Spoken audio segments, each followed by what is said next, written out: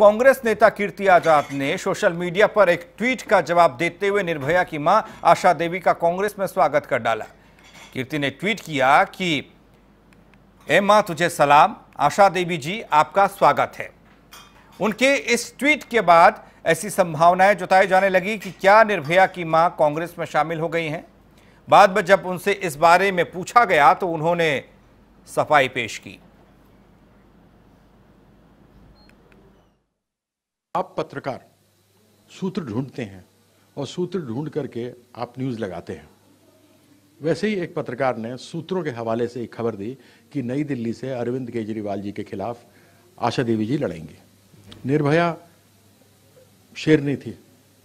उनकी माँ के जज्बे को मैं सलाम करता हूँ, जिस प्रकार से वो न्याय के लिए लड़ रही है।